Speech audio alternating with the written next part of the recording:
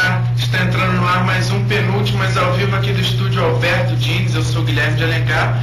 Se você tiver algum elogio, crítica, sugestão de pauta, só escrever para tv.ed.hotmail.com. É isso aí, eu sou Paloma Angel e hoje nós estamos aqui com dois convidados ilustres. É isso aí, Guilherme? Isso aí. E como vocês já podem perceber agora, o nosso tema de hoje é Carmen Miranda. Maria do Carmen Miranda da Cunha nasceu em 9 de fevereiro de 1909 no distrito do Porto, em Portugal.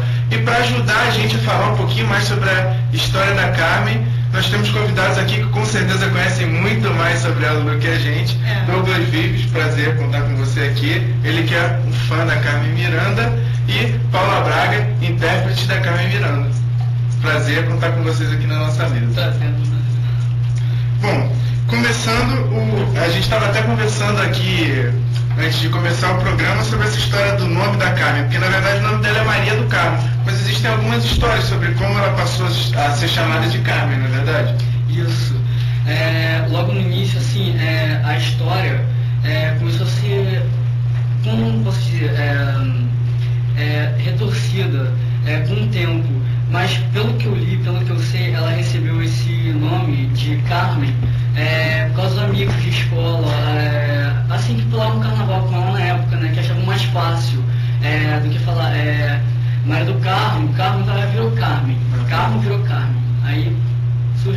Carmen Miranda.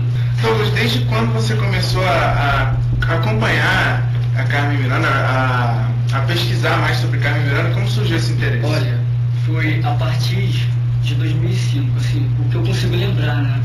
Foi através de uma pequena fotografia que eu vi no jornal, aí eu comentei com minha avó, aqui vó, Carmen Miranda. Aí ela começou a falar sobre a Carmen Miranda, é, aí nesse período eu tava indo muito no centro da cidade, né?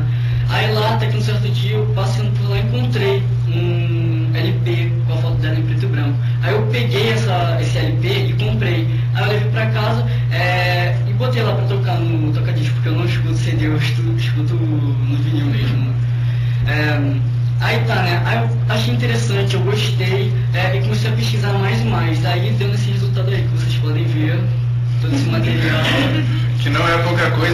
ainda tem mais ah, coisa. Tem mais, que não deu para trazer, né? Tem coisa que não deu para trazer, tem coisa que também não coube na nossa mesa. Bom, e Paula, ah, como surgiu a sua ideia de interpretar Carmen Miranda e há quanto tempo você faz isso? É, esse trabalho eu faço é, há mais de 20 anos, né? interpretando diversos personagens no teatro, em casos noturnos tal, aqui no Brasil, no exterior também. E a Carmen eu não podia faltar. Eu, eu interpreto diversas cantoras brasileiras e internacionais. Das brasileiras, Clara Nunes, foi a primeira que eu interpretei. Assim, meu xodó era Clara Nunes. Eu adorava Clara Nunes quando era quando eu tinha idade do Douglas, eu, antes até mesmo do Douglas, eu adorava a cantora Clara Nunes, o repertório dela achava maravilhoso.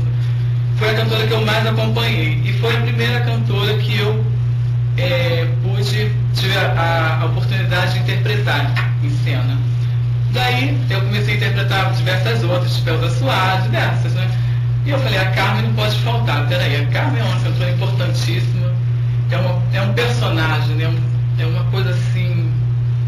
É uma coisa que não se esquece. Quem vê a Carmen Miranda não pode esquecer nunca mais aquilo. Uma, uma vez uma mulher se vestia assim. Na, na década de 30, né, por aí, não pode ser esquecida jamais. Quando ninguém se vestia dessa maneira, o que essa mulher deve ter escutado quando ela começou, né? Se vestir assim. Né? Pois é, então é uma coisa que não, é diferente de tudo. Então, eu falei, ela não pode faltar. Embora que as suas músicas, os seus discos, é, para se escutar, talvez, as pessoas, para tocar no rádio, talvez sejam de má qualidade por causa do, do som, não por causa, talvez por causa da sua voz, mas por causa a tecnologia era uma outra, né? não, não existia mais essa tecnologia que hoje em dia todo mundo canta. Minha avó canta. Meu gato canta hoje em dia, né? Todo mundo canta. Então qualquer um pode cantar. Mas naquele tempo não, tinha que cantar ali ao vivo, era tudo junto, orquestra com cantor, tudo numa sala pequenininha, todo mundo cantando, todo mundo tocando, então era muito difícil. Então o som talvez seja abafado, mas a qualidade do repertório dela, as músicas que ela gravou, a, a, e, e, as né, a, Menina da Carmen Miranda era qualquer coisa, era muito bonita, era uma coisa. Quando ela entrava em cena, ela completava tudo, né? Uh, Hollywood se rendeu a ela, né? Numa época que, que as mulheres eram loiras tal, não sei o quê, de repente chega aquela mulher brejeira, começa, que todo mundo diz que é portuguesa, mas não é portuguesa nada, né? É portuguesa só porque nasceu lá, mas ela tem tudo de Brasil né, nela. E quando, quando ela chegou, chegava assim, ela ocupava todo um palco, toda uma cena, então eu falei, essa mulher não pode faltar. Então eu comecei também a interpretar a Carmen Miranda. Foi aí que eu comecei.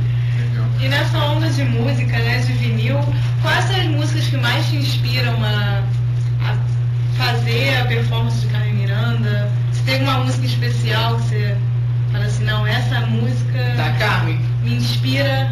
Tem várias. Como eu falei, talvez eu não faça muitas porque o som, a qualidade do som deixa a desejar no som, no- na tecnologia, né?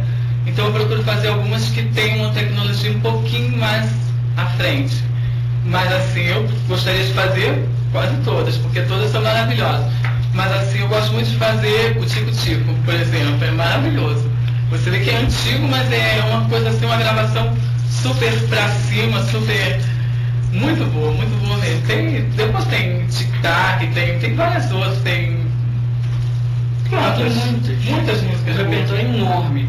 Tu O repertório é muito bom, muito bom. Isso, tu começa a brasileiro. ver ali, assim, é porque tem um, um certo gingado, um, um ritmo que te prende a música. Ah.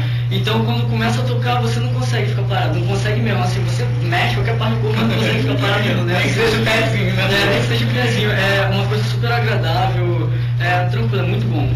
Muito bom mesmo. Bom, nós esquecemos de apresentar a Amanda Freitas ali no computador. Desculpa, Amanda, tudo bem? Tudo bom, galera? Lembrando que quem quiser participar da MSN, fazendo perguntas para Paula e para o Douglas, é só é, acessar, é, desculpa, adicionar a gente na tv.erg.hotmail.com. Agora o Douglas vai dar um relato de como eles se conheceram. Bom, foi uma forma muito engraçada. É, tava ocorrendo os eventos aí sobre a Carmen Miranda, né? O motivo do centenário dela. Aí tá, meu pai me travou em casa, aí eu não pude sair mais para os eventos, né? Até que chegou no sábado, né? Eu recebi lá no museu um encarte da aquela boate lá em Ipanema, se não me engano, Copacabana, The Boy.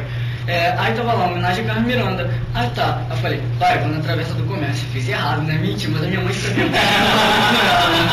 aí eu falo, vai, vou trazer bike, vai pensar o quê, né? aí tá, né? Aí eu, eu fui, quando deu 10 horas eu saí de casa, né? Cheguei lá, aí eu entrei lá tranquilo, porque assim, achei engraçado, diferente, né? Aí tá, aí eu desci, aí eu desci e fiquei lá embaixo. Aí fiquei um tempão lá embaixo, aí eu conheci o Daniel, que é o produtor que fe- fez as montagens dos vídeos, e o Jorge estavam na entrada, né, recebendo é, as pessoas.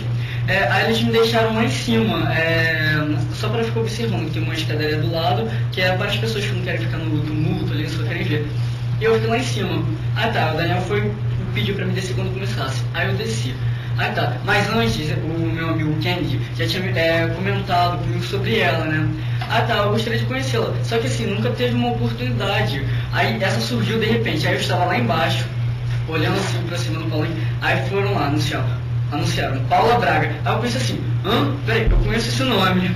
Aí tá, aí quando ela entrou, ela mesma. Aí depois terminou, eu cheguei lá no camarim, é, pedi pro Daniel me levar lá, né? Ele me levou, ela teve até uma surpresa, né? Perguntou, o que, que essa criança tá fazendo aqui?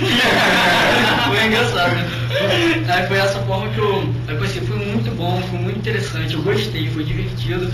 É, a performance dela, assim, é, a interpretação dela foi ótima, assim, tá de parabéns. Obrigado.